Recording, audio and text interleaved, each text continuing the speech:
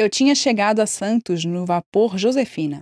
Essa pobre Josefina, que já cansada de sua mísera existência e alquebrada pelos fardos imensos que de contínuo suportava, disse adeus à luz do sol e foi dormir nos palácios de coral, junto às ossadas do Leviatã e do Mastodonte, arrebatando consigo grande número de exemplares das primeiras obras de um jovem poeta muito meu conhecido.